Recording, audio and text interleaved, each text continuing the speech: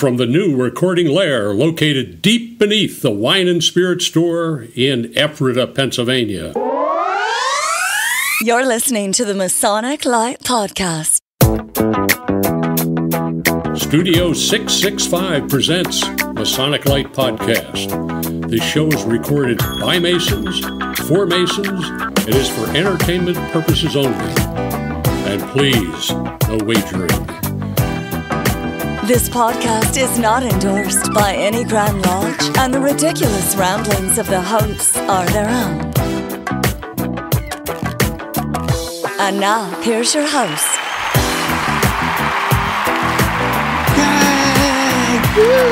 Hey, everybody, it's the Masonic Lite Podcast. Hello. Episode number 173. What? 173. That's a lot of episodes. That is. More than four. Larry, what are you doing? You doing a crossword? Yeah. What? I think he's playing Sudoku. Oh.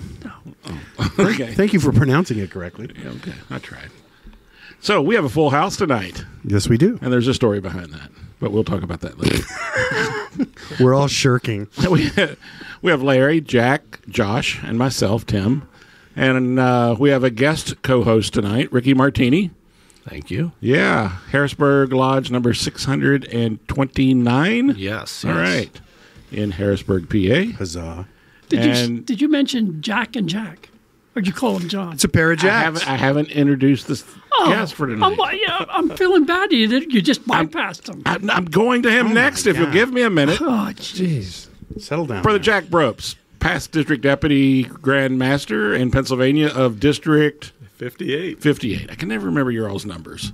58. So, welcome to the show, guys. Thank you. Yay. Yay. Yay. All right. So, you know. I'm so enthusiastic. until about two hours ago, we weren't exactly sure how many people we were going to have here tonight. Nope. Um, it was going to be greater than three Maybe. and less than like eight. So, um, again, we're good, glad to have everybody here. You tonight. got five, six, right? Six. Yeah, Six. yeah. six. We have six now, but Look at that. I can count. You can. Very good. One more and we're at fire code. I didn't even take off my shoes. Yeah. It's early. You'll, there'll be four if we, I take off my shoes. Don't worry. The audit alarm is ringing. We'll talk about that later. Um, anyway, uh, so what we do, guys, is we begin our show with talking about what we've been doing recently in our Masonic careers, lives, whatever. Uh, Larry, other than eating breakfast, what have you been doing? But that's important. It is. It's the best Actually, meal It's the the most important I'm, meal of the day. I'm, I'm estimating we started our 18th year of Goose and Gridiron every Thursday morning. 18 years. That's there are lodges that don't last that long. I'm not Really, gonna. I'm don't. gonna argue with you. But here's the biggie. I went to Grotto on You did? Sunday, Yay! and I got to carry the sword. No. Ubaratar. Oh, Ubaratar. They He- gave you he- a he- sharp object. And Yes, apparently there did. were there were wagers on what would happen if I fell with that thing. It was a pointy thing. He did not cut himself. He was good. You can't cut yourself with that thing. We were you could break bones, about- but not cut yourself. We had a health risk going on there. Extra insurance was given that That's night. right. So uh, that's right. You were. That's, That's right. great. It was He awesome. It was awesome. Now the it uh, was it was like it was like going back to old home week. It was so many people I know, and uh, we were there, and it was it was. and it see was what good. you missed by not coming to Grotto. Yeah, I did. Aren't you glad? That's why I'm back. So we, we had to put Larry in a chair to get him to come back. So uh, anyway, but that's great. It's great. Jack, how about you? Jack number one. Well, um, I had. Let me let me open my cheat sheet. Oh no. So we had. Uh, we we recorded on the thirteenth. So we had Academy of Masonic Knowledge on the sixteenth. That was very interesting. Um, we had what else did I have? Oh, on the twentieth, on Wednesday, we had our first official foray into the combined first and second degrees. how'd that work for you? Well, um, we had it, and it, um, yeah, Okay. it was a thing. All right. So um, I had them into the lodge on Monday night for mentoring and education, Yep. and they're um, they're very interested. They want they want the rest of it. They Yep. want they want the hard part. They want to learn the oath and obligation. Good. and they want to they want the real deal. Good. So they're going to get that. Good. And then um, tonight, I was supposed to be at the Lehigh Valley Joshua Association, named after our own uh, Josh Lamberton, uh, who's apparently 85 years old, because that's the how old th- that society is. Uh, but it's pouring down rain outside, and driving in the dark in the rain is my second least favorite thing to do. So I opted to come here instead and charm you all with my wit and wisdom. Well, we're glad that you made the right decision. Ta-da. Great. So, Jack number two. Sound like what have you you need been up to Masonically recently? Jack number two's been on the road, uh, traveling with the Grandmaster as one of his aides, um, doing the uh, officer training for the Blue Lodge Revitalization Committee.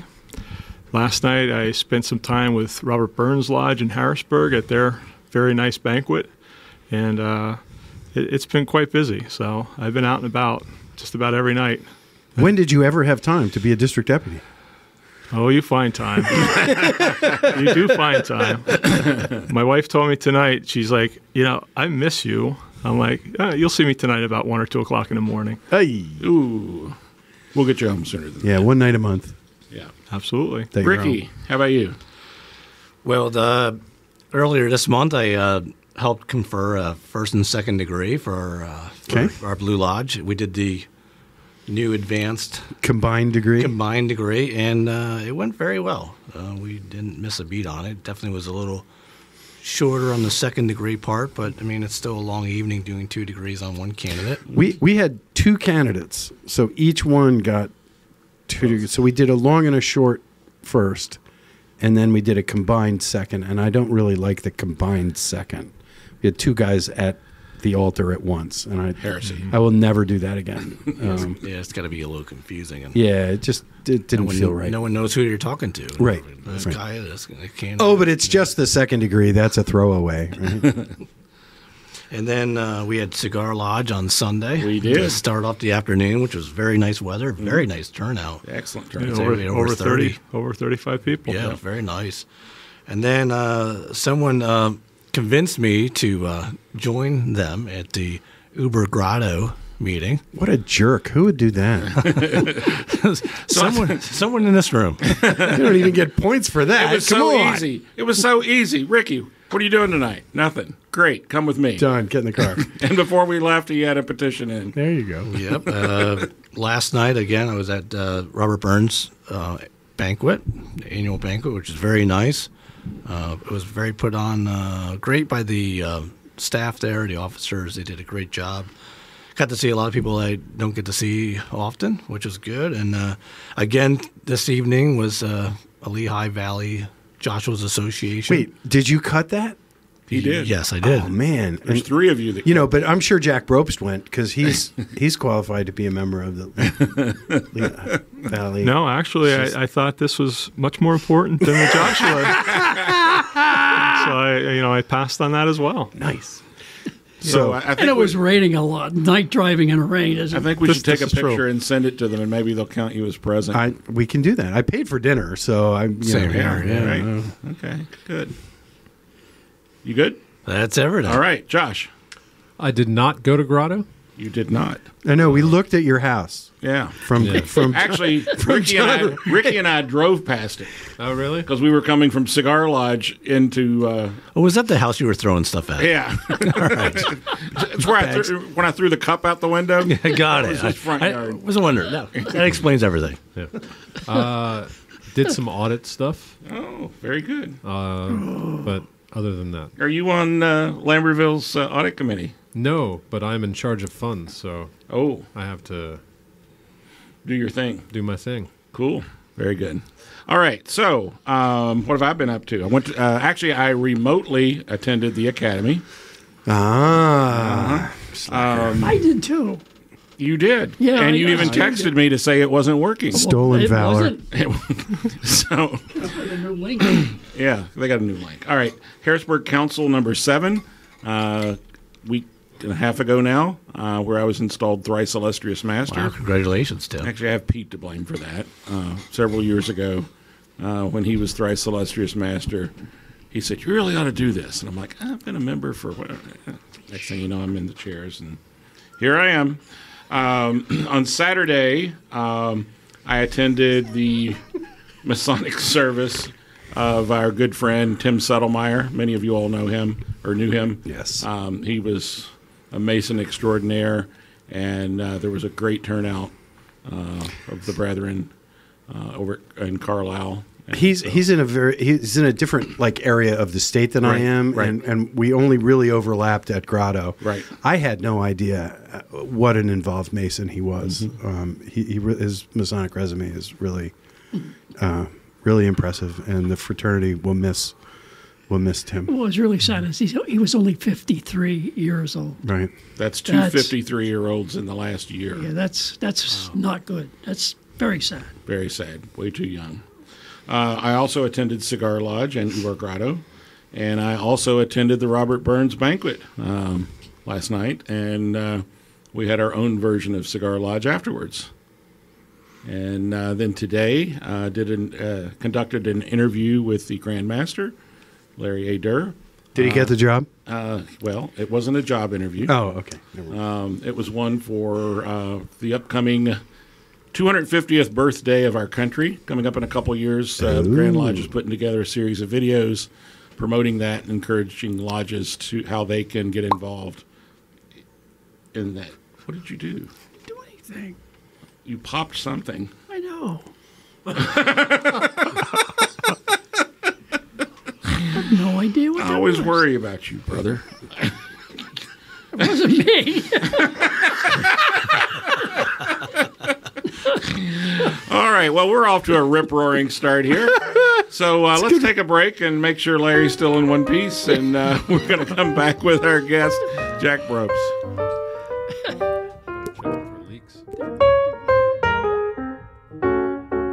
Why choose George J. Grove and Sons for your next home improvement project? At George J. Grove and Sons, we've built our reputation on quality and trust for more than 50 years. For planning to materials to installation, George J. Grove promises a home improvement experience second to none. Whether your goal is reducing energy costs, decreasing maintenance, updating curb appeal, or simply increasing the value of your home, the George J. Grove team will recommend and provide solutions that stand the test of time. Call 717 393 0859 for an estimate or visit us at georgejgrove.com.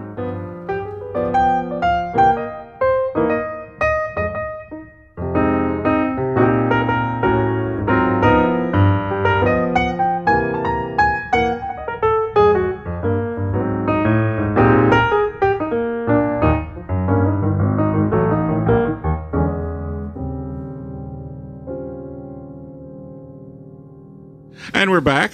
What? Uh, tonight's guest is Brother Jack Brobst, and our guest host is Brother Ricky Martini. So, Ricky, take it away. So, Jack, No pressure. What's your favorite color? My favorite color is red, but I have to say blue for Blue Lodge. nice. There you go. Jack, uh, I saw you yesterday at the Burns banquet. It's great to see you and have a cigar with you. And we had some great talks, which was great. Um, last time I think I saw you in Lodge was at Harrisburg Snyder Lodge last Larry. year Yes. Ask him a question, Larry.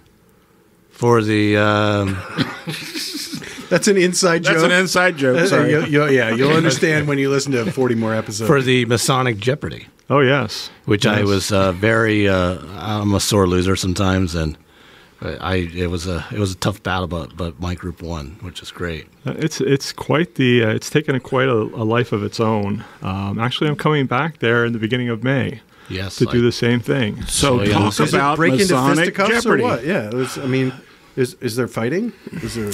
There could be. It could, yeah, Yeah, All right, I mean it's it's come pretty close to fisticuffs sometimes, I- you know, hey, I- when the points get close. So, uh, actually, it was a program that I came up with uh, as worshipful master of Pulaski Lodge number 216 in Pottsville, and uh, just to for Masonic education. I was always in education, always loved it. So, I thought, what better than having Masonic Jeopardy and played like Jeopardy. So I split the lodges up into two teams, one on each side. The worshipful master is the uh, judge and the scorekeeper, and I'm the quiz master. And I have uh, various topics from history, famous Freemasons, Masonic law, ritual, and uh, we go through and there's easy questions, one pointers, and there's really hard questions that are three pointers. I got one. You have a daily I, double? I got one. Yes. I got one. Secretaries say it every December. Pay your damn dues. There you go. what is pay What your is damn pay your dues? damn Thank you dues? very much. I'm gonna I'm gonna have to add that. I'll add that one just for you guys. But uh, yeah, so they have buzzers. They get to Oh, no buzz way. in and Oh, everything, really? Oh, and that's hilarious. And we play until we have you know the worshipful master says okay enough. But you know, typically it's funny because you know I try to keep it to 20 minutes, and usually we go an hour because everybody's having so much fun. That is great. Uh, and then at the end, we have Final Jeopardy. So they wager their points, and that's when the that's when the fun begins. Yeah, it gets a little intense. Yeah. wow. And there's some trick questions in there that you really, it, you know, especially in ritual, that you have to know your ritual to get them correct.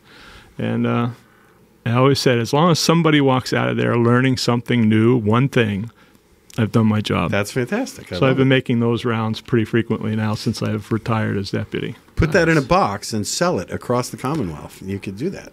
I actually joke with the guys because everybody comes up to me afterwards and said, "Hey, can I get a copy of that?" And I show them the front of my book, the binder, and I have a little copyright symbol on it.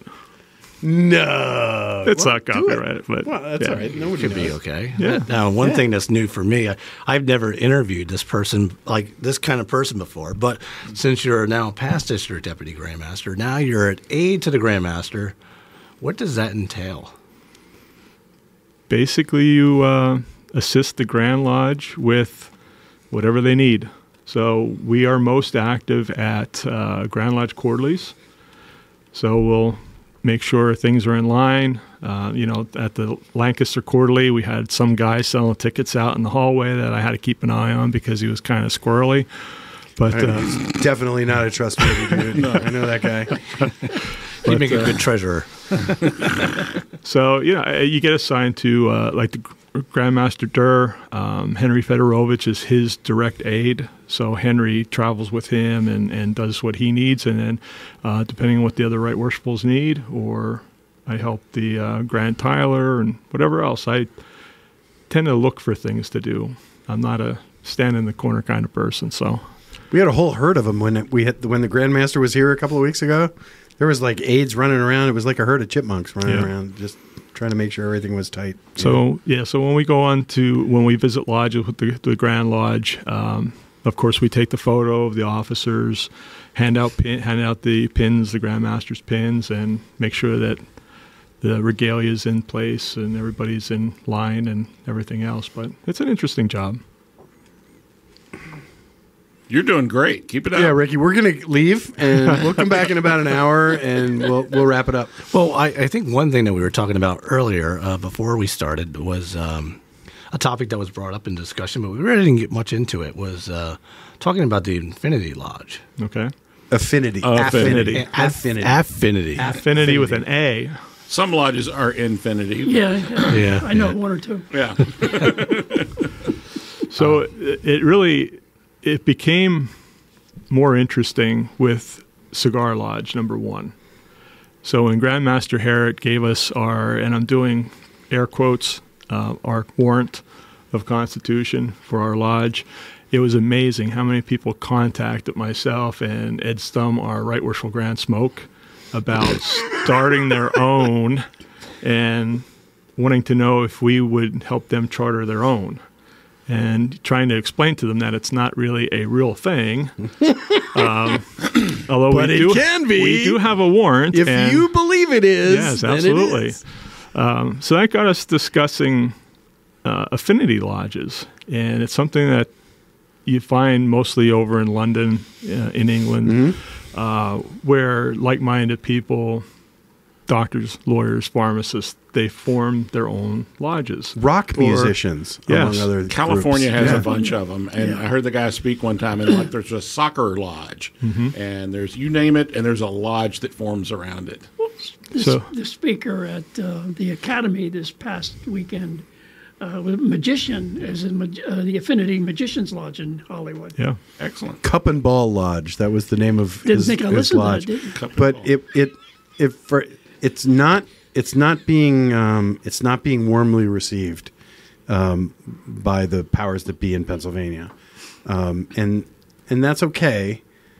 But people who want to get together are looking for a way to get together, a reason to get together under a Masonic umbrella. Why do why do you suppose that is? I mean, what is it about that? Well, you know, you have, and you can see it from the cigar lodge, where, of course, everybody's a cigar smoker or wants to be a cigar smoker, and we're all mostly Masons, but it's becoming more and more frequent now that we're having non-Masons join us, and you share that that love of cigars or whatever. I mean, I have a lot of people asking to do Penn State alumni type lodges, and. Uh, We could create a whole new Grand Lodge from that. Oh, absolutely.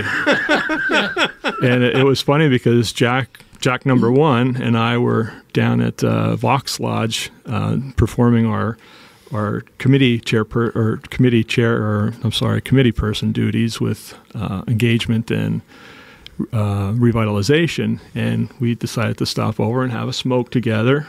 And we started talking, and of course, that led to some really in depth Masonic topics, and one of them was affinity. So he said, you know, this might be a great topic to bring. And then miraculously at Academy, it was one of the topics with the Magician's Lodge, Cup and Ball.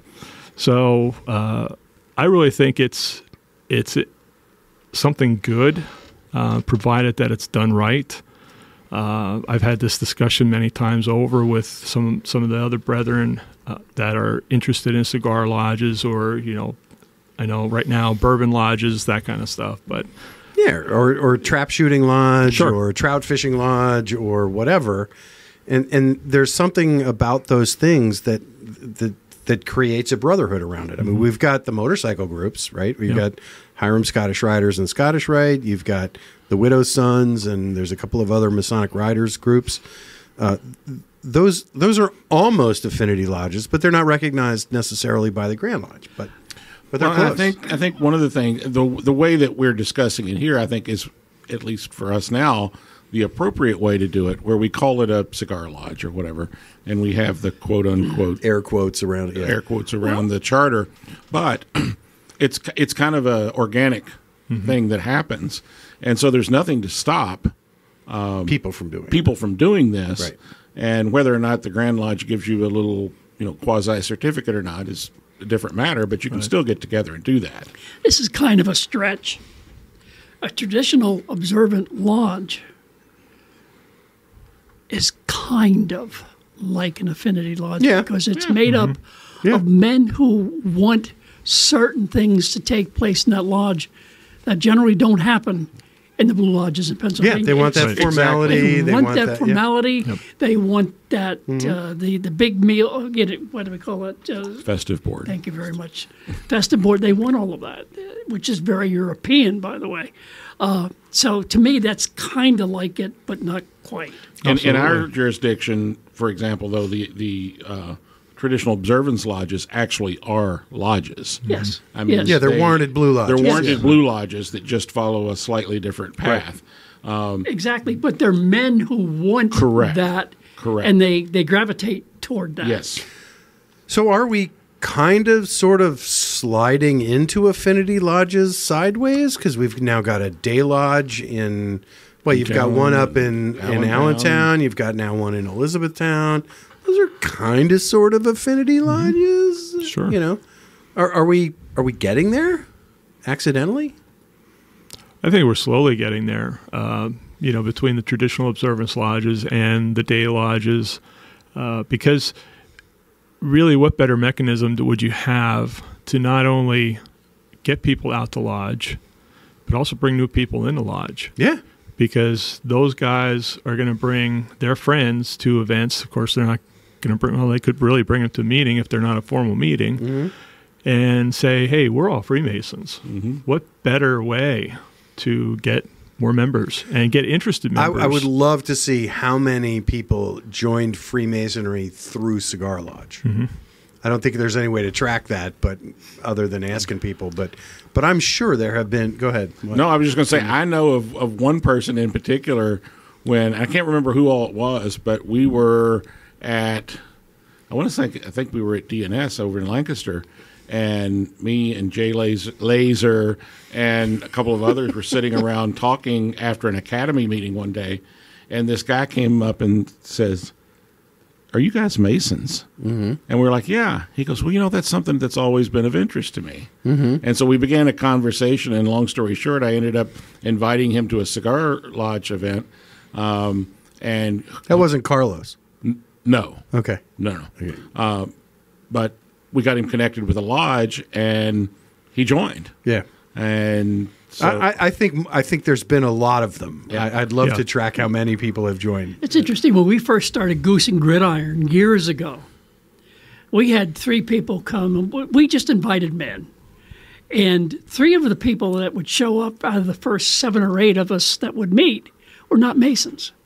And are they now? Yeah, they are now. There you go. Yes. Yeah, typically we have two or three non Masons mm-hmm. at Cigar mm-hmm. Lodge. Right. Uh, we have pull. I know one that, uh, in fact, I just went to his third degree in Sunbury, Oh, cool. and he's actually a cigar store owner. And there was a Oh, bunch of even bunch of Masons that went to his store. Descended on his store. Absolutely. Like locust. and uh, the the Hiram and Solomon um, cigar rep was there, Cool. doing a presentation, and you know, of course, we're all talking, chit chatting about cigars and Freemasonry and everything else, and he looks over at at this gentleman and he goes, um, "Yeah, why aren't you?" Petition. Nice. So he just got his third degree two weeks ago. Bam. Then we all went up there and visited him, and So one of the things, though, if you look at the affinity lodges in Europe, especially in England, um, Great Britain, UK, whatever they're called this week, All the Uh, but the um, and I apologize to all my British friends. That's that's insulting, and I apologize. Um, but they have lodges open and close all the time. Like they're into the thousands of mm-hmm. you know numbers of lodges because they open, they're they're alive for a couple of years, 10, 15, whatever, and then they close again. And and no then there's no gnashing of teeth and wailing and oh my god, a lodge closed. It just it just closed because that lodge had run its course right. Um, in, in our world, that's ana- that's anathema. I mean, we we don't want to close a lodge. Well, I mean, we're not going to close any lodges this year, right? Uh, for the next two. well, we're not going to allow mergers. Well, we're not going to allow mergers, but all right. So if anyway, notwithstanding, but the point is that it's a horrible thing when a lodge closes in Pennsylvania. It's it's it's it's the end of the world as we know it. Um, but for them, it, it's not so much because they, they've got lodges opening and closing all the time. Um, we had a friend, um, Dan Madrigal, who was on the show, who was trying to start a, a Spanish speaking lodge in Pennsylvania, and um, they they couldn't they couldn't make the hurdle uh, in Pennsylvania um, because the, the the requirement was so high. So they went across the river to Camden, and they had a lodge in in three months.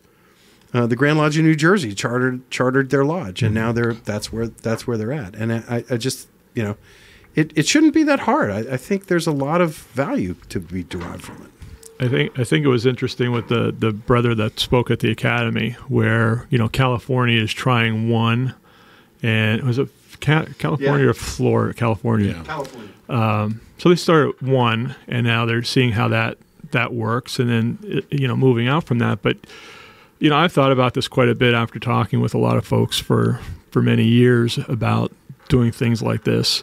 And again, this is just my opinion that um, I think if we start small and sort of like we have with the Lodge of Research, where you have to be a Pennsylvania Mason in a warranted lodge, and then you can have an affinity lodge. You can have a cigar lodge where you're not conferring degrees, but and you're not, you know, someone has to go through a regularly warranted lodge, but then you can join this as a secondary mm-hmm. lodge.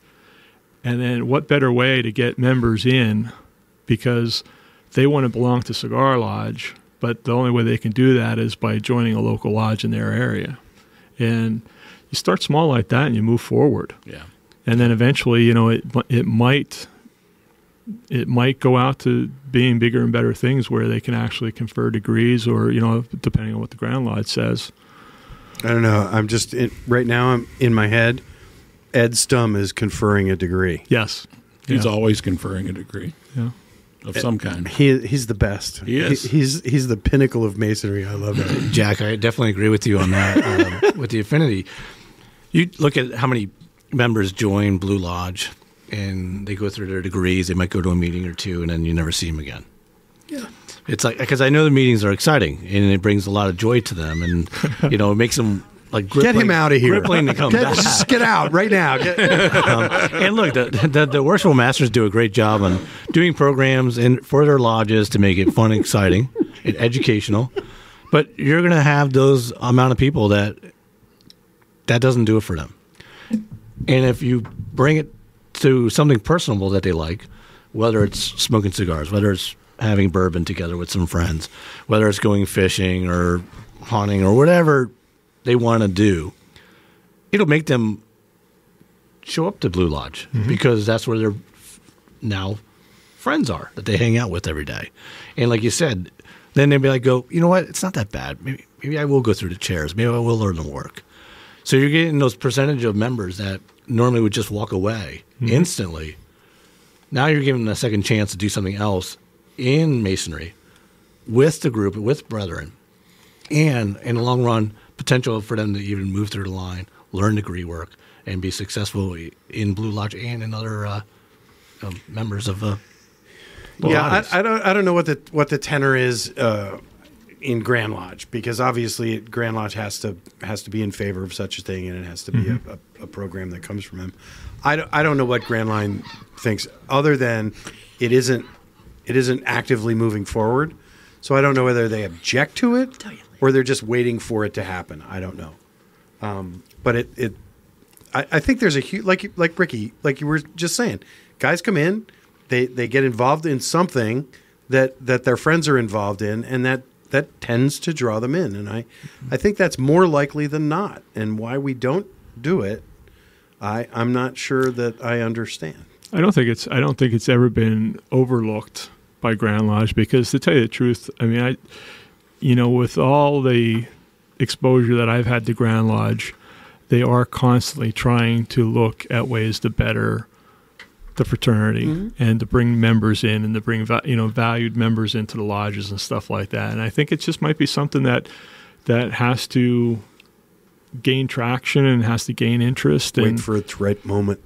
yeah. yes. Wait for the Yeah. bell to ring. Yeah. Better to listen to the Masonic Lite podcast to get those educational uh, chances there. Larry's hard Learning alarm what we need to do. Th- those of you that were wondering what that ringing noise was, it's it's Larry's pacemaker. So before we uh, go get the AED unit, um, It's on the third floor, Larry. Go get it. Go get it, Larry. uh, and we're going to take a break here in a minute. But uh, we want to thank our sponsors. We failed to mention this earlier. Oh, geez, Tim, you had it. one. I no, have- you had a lot of. I have a lot of jobs. But anyway, our sponsors tonight, who one of whom you've already heard from, George J. Grove and Sons, Who's been around for how long? over 60 years. sixty 60 years. And you That's might a lot of years. you might hear a new George doesn't look that old. He doesn't look that old. No. no, not at He's all. got nice teeth too, Hiram & Solomon cigars that we were talking about a moment ago. right? And we're uh, hitting all these people, Intermezzo by Stephanie. which is on the table in front of us right now. for tonight's crunch, crunch, crunch. yes. Uh, Scott Helm Electric.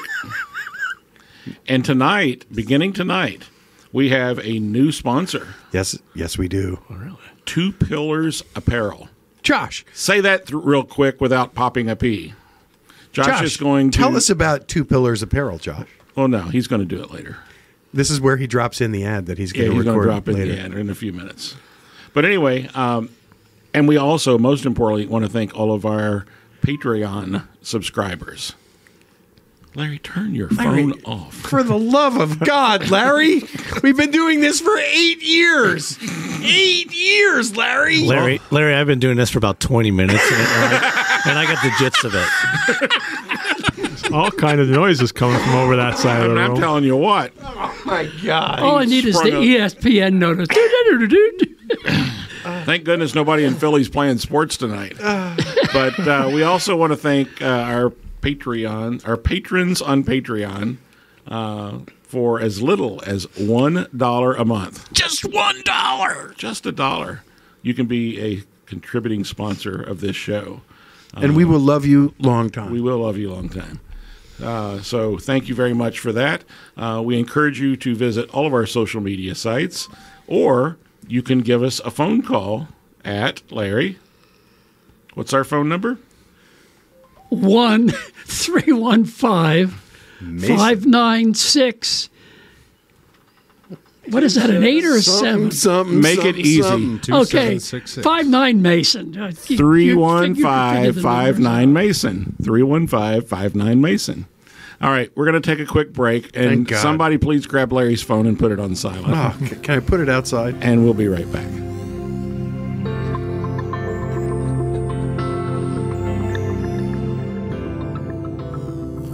As far back as the mid 1800s, records exist describing the pre meeting tradition of brethren smoking cigars during and after gatherings. To this day, the practice of smoking cigars remains very much alive in many lodges. This custom is considered a time for brethren to relax, exchange ideas, and enjoy the simplicity and fellowship that is the very essence of our brotherhood. This is what Hiram Solomon Cigars is all about. Our starting principles are to bring Masonic brethren together in the harmony of a good cigar. Pull up a chair, sit back, light up any of our premium cigars, and enjoy the history. Hiram Solomon cigars can be found at fine cigar retailers. For a complete list, visit hiramandsolomoncigars.com or check them out on social media to find out when they'll be at a live event near you. Hiram Solomon Cigars is pleased to be the official cigar of the Masonic Lite Podcast.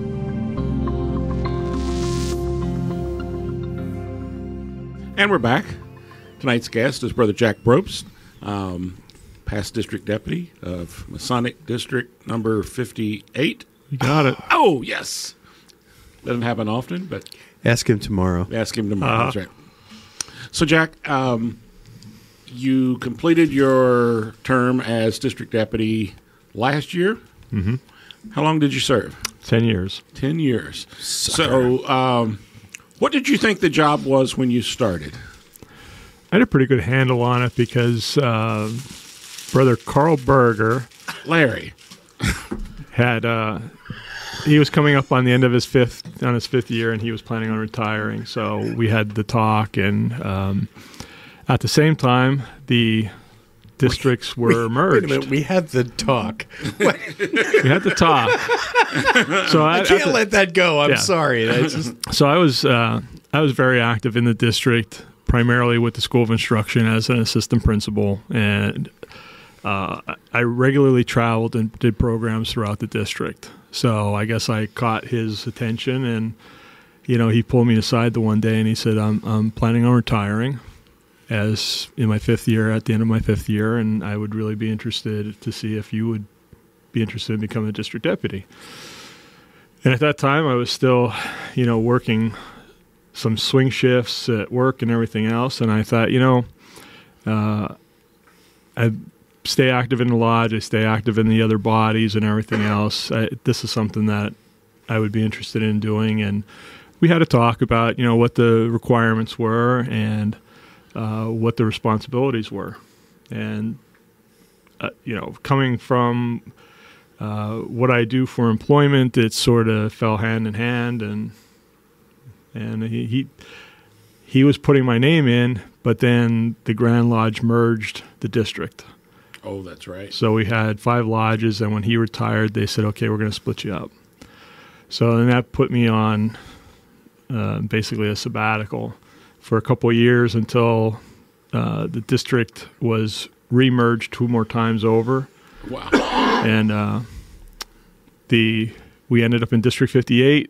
Brother Bob Briggs was planning on retiring in his fifth or sixth year, and the other past district deputies in the uh, district got together and you know told him that told him that they wanted me as district deputy.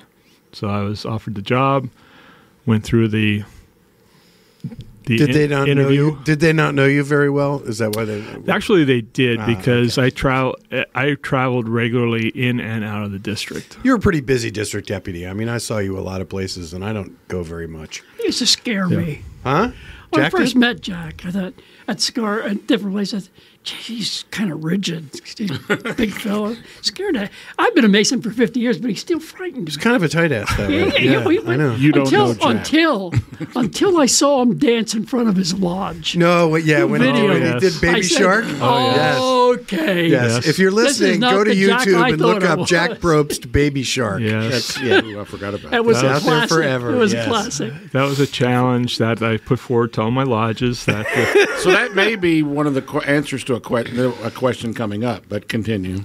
so I uh, Grandmaster Harriet's project was to digitize all the Grand Lodge records, and uh, I put the challenge out to the lodges that if they raise two thousand dollars, I would do the Baby Shark dance in full regalia, and. Uh, Of course, as Freemasons, they stepped up to the challenge. Absolutely. I did Baby Shark, and every now and then I get a, a little notice from YouTube and Facebook saying, "Hey, you know, you somebody looked at this again." I think the last time I looked, there was like twenty thousand plus views of it. So you're about to get about four million Yes. listeners, or new viewers on six planets. Yeah, so it, it was it was fun. Um, I I did it in about three takes, and uh, yeah. It was brilliant. It was Madonna worthy. Oh, was it? Yeah. I, am glad. I'm glad to hear. it. absolutely laughed Yeah. out loud. Yeah. Josh, I'll have to link that on the uh, show notes. So yeah, so I mean, it was you know we had a lot of fun and um, we made our we made the money and toward a, a worthy project, and I was happy with them. Excellent. Yeah. So, what was what was your greatest learning over the ten years about either being a deputy or or your lodges in general or any of that? I think my I don't want to say my leadership skills improved, but I had a better understanding of how the minds of Masons worked, and especially in a, a pure volunteer organization, because we all hear that it you know this is a volunteer organization, but there, there's more to that, and you know reminding folks, reminding the brethren that they took an obligation, especially as officers, uh, to make do what they need to do to help their lodges out and lead their lodges. And I think that was that was the thing. I, I grew with them. Uh, I learned a lot that not all lodges are the same. They all have their own idiosyncrasies, and even traveling around the state, um, I, I really learned that every lodge truly is different. That they, although we have ritual, ritual is different. Ritual doesn't No, ritual every- is the same. Ritual doesn't well. Ritual does not account for culture, This is true. and every lodge has its own culture, Absolutely. and that's important to understand. I, I heard it when I first came in as deputy and I started making the rounds. Uh, I heard many times where this is the our way of doing things. I'm like, as long as your way meets with my way, I'm okay. Yeah, that's if good. it doesn't, then we're gonna have to have a chat. But you know, fortunately, most of the times it was just little odds and ends. And but yeah, I think I think that was the biggest thing is uh, learning how to work with people, uh, different ages too. Mhm. I mean, I had worshipful masters that were in their 20s, and I had worshipful masters that were in their 60s, and they all had different skills, skill sets, and and people skills. People skills are the big thing, and I tried to get that into the lodges, and especially the new lodge officers that you know you need their help. You are supporting them, even though you're leading them. That you need to treat everybody with respect and and move forward with it. What and and this is what I was mentioning earlier. Do you have any regrets?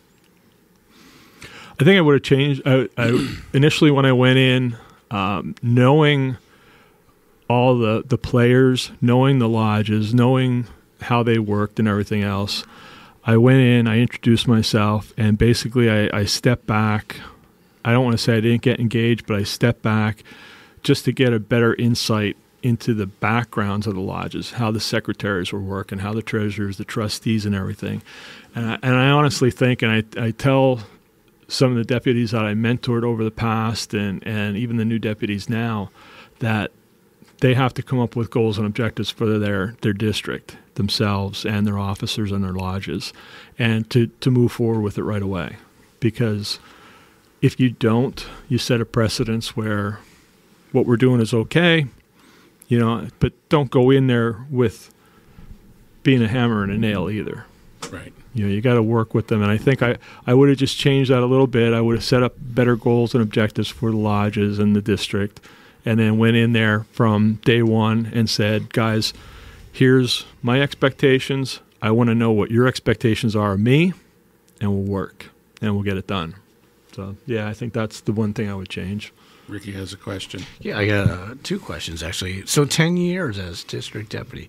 So is that like the uh, like automatic retirement? Yes. Ten years. So, in order to be considered past district deputy, you have to serve at least five years. At 10 years, you automatically time out. So, I reached full full term, and that was it. So out of those ten years, I know it's tons of accomplishments that you've made. Is there any time that stands out that would be like something that you look back at as like the most proudest moment of being a district deputy? Great question. Hmm. There's a lot. I mean, there were officers that I I mentored from the time they came in to the lodge as newly made master masons, all the way up to that even one or two that I actually even gave all the degrees to, and then they ended up being worshipful master of their lodge. Now, thinking about that, you have so I'm a district deputy grandmaster with 10 years, and I'm in, in conferring degrees, and then that that guy is becoming an officer within my term.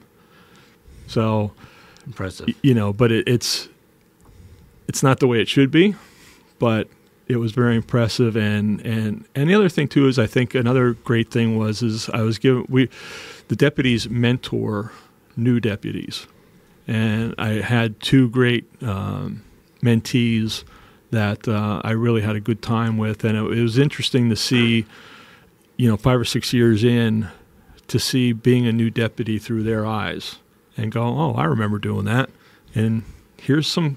I never ever told them that, unless it was a Masonic law question, but I never told them how to do something. It's like, here's what I did, here's some ideas. You know your district, you know your lodges, go forth and prosper. And uh, I think that's, you know, that, that was some of my, and then of course, you know, the odds and ends helping helping the lodges out with different problems that they've had and anniversaries and things like that. That was always fun. Is there anything that you would have uh, liked to have done that you didn't do? Yeah, I think, uh, you know, throughout that whole term, I really tried to get the lodges more involved with social activities, traveling and visiting each other, traveling outside the district. Uh, we tried quite a few different events. Um, some worked, some different didn't. Where we, you know, we had a day at the shooting range. We had a Halloween dance. We had socials and stuff like that. Eh, you- You'd get the same group of people out at each one of them. Um, and I think I really should have, personally, I think I should have tried harder. Uh, but yeah, I, think I think that was one of the things I wanted to get these guys out and It- moving. It's tough to get social events together because because mm-hmm. the twelve guys that are involved that are going to come out to your social event are the twelve guys that are in chapter, Mm-hmm. that are the same twelve guys that are in commandery, that are the same twelve guys that are in Council. Scottish Rite and Ca- Council and everything else. And I'm like, Aaron Council. I don't want Yeah. to see those guys anymore. Oh my god! Yep. So it's it's it, it, it- that that social part of it that we all join for. I think I think most of us join because we're you know we're excited about the the, the fraternity part of it and being a part of something, and then um, it, it's it's really tough. We've tried innumerable times. We were upstairs. I gave you the tour of the lodge about you know the pool room. We have we have these two giant Brunswick pool tables that from that are over hundred years old, Um, and they're, it's the most underutilized room in the building. It's been 90 years since someone used one. Well, no, they're they're up there once in a while, but it, it's like it's just such a shame that you know uh, because we're also in you know involved in our own lives and and you know it's um, it's just tough to get people out on a consistent basis. That's why I love Grotto Yeah. because Grotto there's there's no there's no overhead to Grotto, right? You just show up and have dinner. Oh, is that the dinner I went to the other night? time, yeah. it was like Exactly. Everyone was like, "Why are you so happy here?" Yeah, we're the only guy smiling in the pictures. Yeah, uh, but but it's you know it's it's the one event that you can just kick back and relax and and I know every month there's going to be a grotto meeting and it's going to be fun and and you know we can throw stuff at the speaker and whatever. Um, but uh, but yeah, it's it's tough uh, trying to get those things started. There was a lot of people in in the lodges that never saw lodges in the other sides of the district. Mm-hmm. So I mean, we have a traveling school, so at least those brethren got out. You know, it changed lodge to lodge I every love month. that. So they got to see what the lodges look like, and you, you know, before the meetings and even during the meetings, you know, I would always say, okay, who has what going on, and then say, okay, you got to go. Mm-hmm. and and outside the district and so yeah yeah it's it I think we don't play that up enough. And I think that's another important thing that we need to do is have like a master Masonic calendar. Because you know I know just scheduling cigar lodges I get 20,000 emails saying oh that's this or that's that that that day. And I mean fortunately it's on a Sunday but it would be so nice for guys to be able to brethren to go and look and say hey you know lodge number one two three is meeting on this night. I'm going to be in that area. Why not? And this is the program. So why not go and, and check it out? So it's i think that's important too. So Larry gets one question per show. Uh, Larry, what's your question? No, I, I, I don't, save I don't have a question. I'm thinking about something else.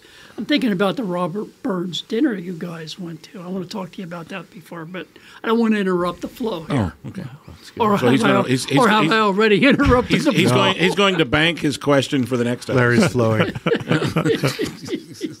So, being from the Pottsville Lodge, yeah, I heard rumor that they would actually, after lodges, sometimes go to Yuengling Brewery and have private tours.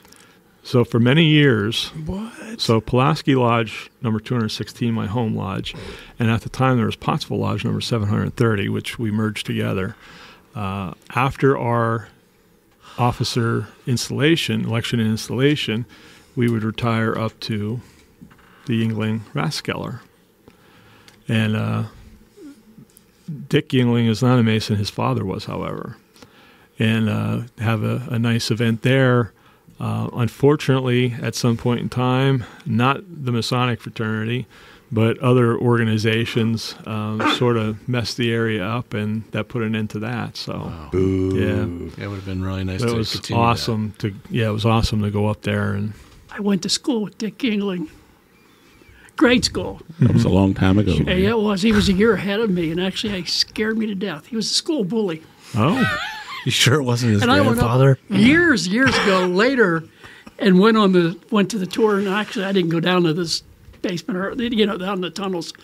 And I said to the one lady, "It was uh, does, does Mr. Gingley come in a lot?" No, I said.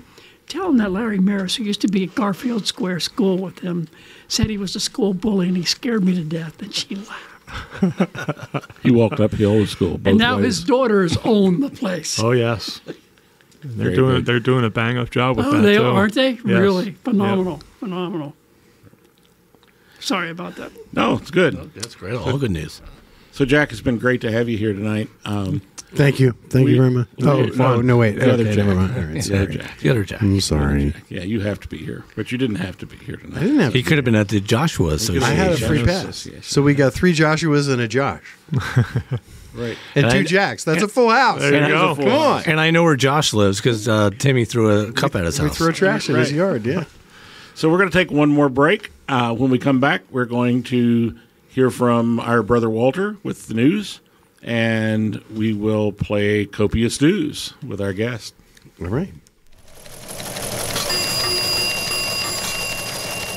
In Masonic news today, popular Masonic Secretary Tim Dedman has been seized by federal authorities, threatening bodily harm to lodge audit committees across the Commonwealth.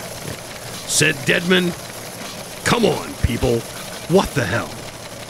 That's the Masonic news. So mote it was. That that is very plausible. I have to admit that. Tim, I, I think you should get an uh, act of valor for all the lodge audits that you had to endure over the last couple months here. He had calls while we're sitting here recording. yeah, I mean, we started we- five minutes into the show. I get a call from a district deputy, and I know what it's about. So, oh, guys, please get your audits done. Come on, people. Trustees, please share your reports with It's your numbers. secretaries. Just just add them together. It balances out. Everybody's happy it's springtime except for Tim. oh gosh, I've you know I may have to check myself into rehab before this is done. You know, it's- Well, nobody likes a quitter, Tim. I know. All right, uh, it's been a great episode tonight. We have one more thing to do. Um, Jack, what, What? time is it? It's time for Copious Dues. Tonight's a special episode of Copious Dues.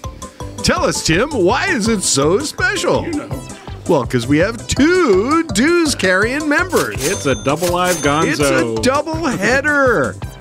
So tonight, we have with us past district deputy Jack Brost. And uh, Jack is a, a- an occasional listener to the show and knows that we're going to do this to him. So when I said, Jack, write down how much you pay, and he was like, bang, right there with his number. So, Jack, we're going to guess how much you pay in copious dues. Okay. Tim Dedman, what do you think Jack pays for copious dues? I'm going to say $913. That's $913. Larry, what do you think Jack pays in copious dues? Six hundred eighty-five. Oh, wow, you are so oh, out. you are so out of He's going for the under. That's yeah, what he's doing. 1970, that was right. Josh, what do you think our friend Jack pays for copious dues? One thousand four hundred. Ooh. This isn't Seth Anthony. Wait, was that a decimal point? Wait, uh, comma, Supposed comma. one thousand four dollars. Uh, One thousand and four dollars. One thousand and four dollars. And I think Jack pays one thousand and one. It's like the price is right. We're slicing this one thin. Yes, we All are. right. All right. So, Jack, should we do Ricky next? Well, let's do them individually. Individually. That's what I thought. Jack, tell us how much do you get hosed for copious dues? I pay about seven hundred and seventy-eight dollars. Oh oh my gosh. We're Larold. Larold wins. Larold took the under and ran go. away took with the it. under. Yeah, He's on the hey. board. He took the under. Oh Well done, Larry. Well done, Larry. All right. All right. All right, now Ricky Martini. Ricky Martini. How much do you? No, don't tell us how much. We're gonna guess. Uh, Josh, how much do you think Ricky pays for copious dues? Well, man, uh, eight hundred dollars. Thirty-six cents. I'm not retired for masonry. Such a careful calculation that was. Tim, I'm going to say $801. Larry Merris, what do you think Ricky pays for? Four hundred seventy-six. Ah, taking you. That's my Blue Lodge dues. right. four hundred my and, blue and lodge Jack number. picks four hundred and seventy-seven. So Ricky, tell us, what do you pay for copious dues? Seven hundred and sixty dollars. Oh, who's that? Tim? Wah, wah, wah. I think it- that's That would be me. Larry again. No, I was a dollar over Larry. Okay, you're right. Da-da-da-da-da. Da-da-da-da-da. Copycat. Ah, I got your system. I got your system. The dues will only increase from here. That's right. Awesome. Well, thank you for playing. Thank you for playing copious dudes. All right. All right. Great night tonight. So, Larry, what you got coming up? Goose and Gridiron. No Thursday way, morning. really? Really? Mount Bill Food. Family Diner, 9 What, o'clock. what do you all do there? What do we all do? We just eat breakfast and chat. Okay. And Uh-oh. Lodge in the um, April, first Tuesday in April. What's the date? Do you know? Uh, nah. What's the know. program? Do you know? Nah, I don't know. I'll just be there. Okay, good. Jo- Josh will be there too, I think. Josh coming? Yeah. Oh yeah, it's my uh, Masonic birthday. Oh, you get candy, right? No, they- they did away- Congratulations. They did away with the candy. You did away with the candy, yeah. you all cutting Why? back, huh? Why? Being And real I have strict, executive real board meeting for Tall Cedars. Okay. Yeah. Well, Larry, I'm It'll be busy. impressed. Tell them I know somebody who makes candy. So. Yeah. That we did use, we we used her candy when it was gone. They didn't order anything anywhere, Huh. How about that? How about that? but we gave the last of the Mad Hatter away. Jack number one. I have coming up. Uh, my AMD Cincinnati Council meets on Friday night. We're being visited by our, I don't know what he is, district guy. Poobah. Uh, Poobah is coming to visit us to see how crazy we are. Wait a minute. Oh, I think I know. No, never mind. Go ahead. Yes, you know, you know him. Yeah.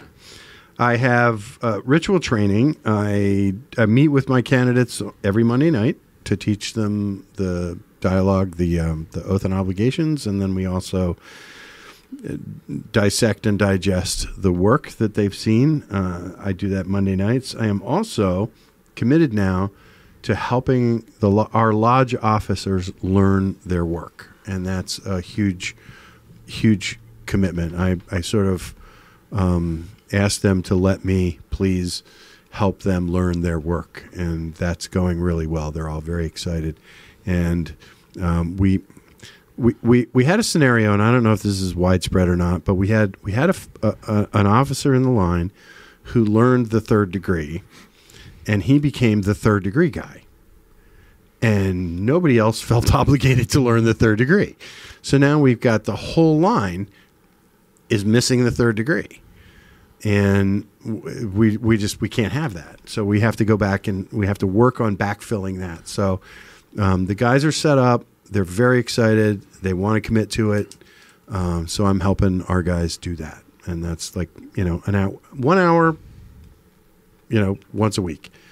Um, what do you have? What do you need? Let's let's let's keep it moving forward. So that's exciting, uh, I, and I think we'll be able to to get the lodge on really solid footing in about a year and a half or two years.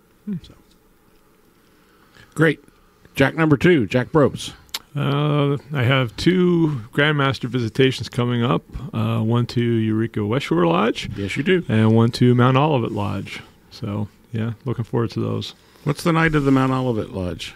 The following Monday, so the Oh. eighth. Yeah, that's right. I Yes. Yeah. chapter, Yes, so I can't go to that.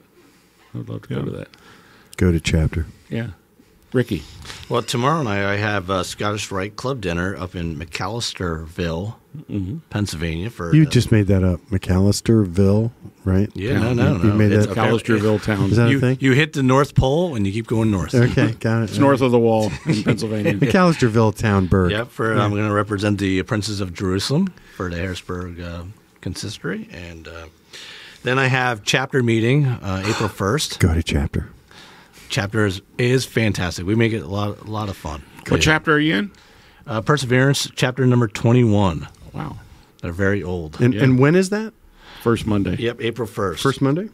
So I could be lying and saying it's April second. How would you know? It's April first. Ah, I see what you did there. Uh, Also, I have uh, our Harrisburg Snyder Lodge, number 629 Blue Lodge, stated meeting on April 2nd, where we have Bobby Snyder giving the uh, program for how many masons does it take to screw in a light bulb. I've heard that program. Oh, that's a great. Now, I told him it would take one, but he told me he just nodded, going, "Uh, uh-uh, uh, uh, no. So I'm, I'm sure I'm I'm in for a deed of awakening there. That's great. I got April 4th, the Thursday. I have Commandery uh, at um, Pilgrim number uh, 11 in, in Harrisburg uh, for their stated meeting. And I have our extra meeting where we're doing a third degree for Harrisburg Snyder Lodge on the 10th. And of course, consistory on the 12th of April for their stated meeting. It's uh, a couple full full weeks here. I've had a hard time fitting stuff in to my busy schedule outside of Masonic uh, events, but I've been able to do that. One night a month? Great. Uh, I- I'll tell you one thing, Jack. One, if um, if you uh, if I am able to use your pool tables in cigar area, I I will be your Tyler for uh, after the 665. Well, I'm the Tyler right now, so absolutely. You could be can the that. assistant Tyler. Assistant Tyler. I Okay, like there that. you go. I can let you. Yeah, we need an assistant Tyler. Ricky, I just want you to know I'm impressed. You went through all of those activities, and Larry did not groan once. when I try to do that, he groans every time. Well, you know, he's he's He's he's, a- he's he's, a busy guy. he has a lot of stuff going on, and He I does. you know I commend him for that. yep. I mean, you've done 100 shows. You're getting tired of it. Josh, how about you? Uh, as as Larry mentioned, we have Blue Lodge coming up. Um, I've got some other stuff going on. And got the episode, of course. Thanks for that detailed analysis, Yes, Josh. thank you very much. You seem that. very busy, very you very busy. much. Very busy. So, as Jack number two mentioned on April the 1st, and this, I actually got a letter going, Are you really kidding us? Is this for real? Um, Eureka West Shore Lodge number 302 will have its April stated meeting, and prior to that, we will host the District 3 Oyster Feed, um, which uh, is a great night, and especially if you like oysters. And we have expanded for those who don't. We offer a steak option. That's a great option. Um, great option. Jack, I believe you will be at this one and didn't mention it. On the 6th, we will be at the uh, operatives meeting uh, Oh, yeah. in Lancaster. Yeah, Forgot. I think you're getting a degree, right? I am getting my fourth degree in Yeah, operatives. that's what I yes. heard. Congratulations. Yeah, Yeah. congrats. On the 8th, uh, Samuel C. Perkins Royal Arch Chapter. I'll be at that. Uh, I will also be at the Harrisburg uh, Scottish Rite uh, stated meeting where we will be joined by, oh gosh, what's his title? Walt. No, not his, not his name. Oh, our uh, um, Supreme, Supreme Commander, Allied Commander. Allied, allied of Masonic forces, yeah, of the Darth- Northern Masonic jurisdiction. Darth, Walt- Darth Walt- Vader's father. Yeah, right. Darth, The guy from Boston. Walt, Walt Wheeler. Uh, he's actually from one of the ice or Michigan. Michigan. He's yes, actually he is. from Michigan. Very, very nice. Boston. Very nice and, man. and Very then the next guy. day he will be at the uh, celebration of the 150th anniversary of the land, uh, Lancaster Lodge of Perfection. Hmm. Larry, you going to be there? No. Okay. You're a member of that group. Yep. Not going. Nope. Larry, I will we'll drive you. Nope. And then the last thing, I'm going to give you all fair warning. On the uh, day of our, our our next episode is going to be recorded on April the 10th, and um, earlier that day, I'm, I'm going to have a colonoscopy, so I should be in real good shape by the time I get to the Things episode. will look very clearly by then. yes. The good news is, is the worst part will be over. It will be the first time in years that You you, are not an- full of will- shit. That's if right. there's only You- one chair in the waiting room, don't sit in it. Right. exactly. You So, will have an uh, appetite. I'll tell that. you uh, why I'm having to have that on this date after we're done tonight. But uh, anyway, We're all going to be sitting on the edge of our seat. I'm sure. that, yeah. I'm sure. Are we bury and your so, and so soul. will Tim. I know. Yeah. Are we going to all give you hugs when we're done? All right. So, uh, uh, Josh, open that gate Oh, geez. No, wait. Come on. Uh, let the I'm not chickens even- out. I'm not ready. and. Um, Hey, Ricky, are you a turtle? ooh, good question, Jack. Are you a turtle? No. Jack, are you a turtle? That's your sweet ass I am. There you go. All right. yeah, yeah. Uh, Ricky, we may have to take care of something later. Yeah, we, Yeah. we can take care of that right now. Sounds great. Sounds great. Absolutely. Yeah. So, Larry, this is I'm Larry. waiting for Tim to do what he's going to do. There you go. Special thanks to Effort Lodge 665 for allowing us to continue to meet here. If they knew what was going on down here, that could change. Anyway, to Josh Lamberton, to Josh Lamberton, our producer and director, Jack Harley, our news director, Tim Dedman, our And marketing director, to Michelle Snyder and Doug Maidenford and Austin Schifrin, Masonic Lite contributors. They do a great job, by the way. And to our listeners who always make doing this show worthwhile. This is Larry Merris saying thanks for listening. And remember, have fun and do good. Good night or good day, wherever you are. Good day. Yeah. Hey, we forgot to mention help promote scouting out there. One of our uh, Patreons suggested we say that, so we just did. Thank you. Good night, everybody. Bye, everybody.